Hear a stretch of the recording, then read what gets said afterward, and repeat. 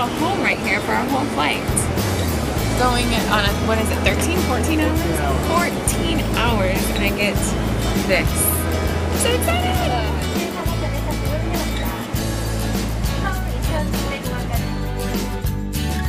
The reason I went to Korea was because of the U.S. Taekwondo Committee. They were extremely gracious to host me, have the entire week planned out, and I had so many fun experiences, once in a lifetime memories that I'm never gonna get back, and I loved being there. I started Taekwondo when I was eight years old, and it has always been a part of my life that I value so much. While in Korea, we were around all of these martial artists, these people that were my age or even younger. They've been doing Taekwondo since they could walk, I'm sure.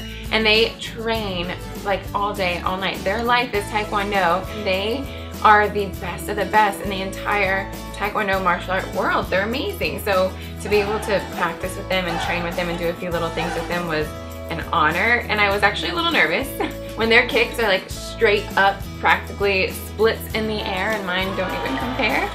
It was a little nerve wracking, but it was an honor to be still accepted by them. And they said that they liked my technique and that they thought I was pretty good, so I'll take it the whole cultural experience in Korea was fascinating for me.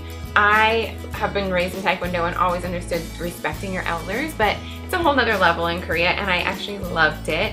It was little things by how much you bow depending on who you're meeting. If it's a very high up official or elder or grandmaster, you're going to bow a lot more than you would bow to the doorman at the hotel. But everyone that you meet that you don't know, you're definitely respecting with a bow and not making any eye contact. When it comes to language, there's even different ways to say things with more respect.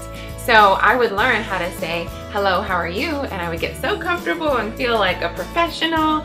And then I would meet somebody that was a dignitary or someone hired from the government and I would have to relearn how to say it with a more respectful way and just tweak the word a little bit. 안녕하십니까.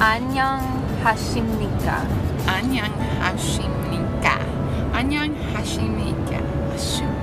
안녕. Yeah, 안녕하십니까. 하십니까. Mm-hmm. 안녕하십니까.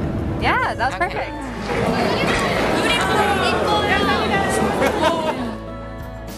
I was just presented with a honorary bachelor's degree.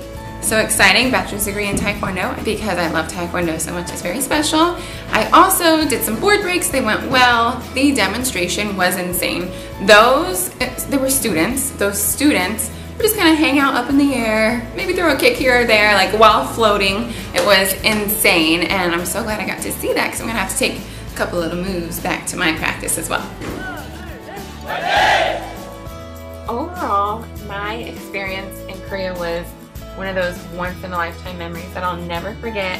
I loved working with all of the groups and organizations out there the Taekwondowon, the Kukkiwon, the World Taekwondo Federation, US Taekwondo Committee. There's so many out there that made me feel so welcome.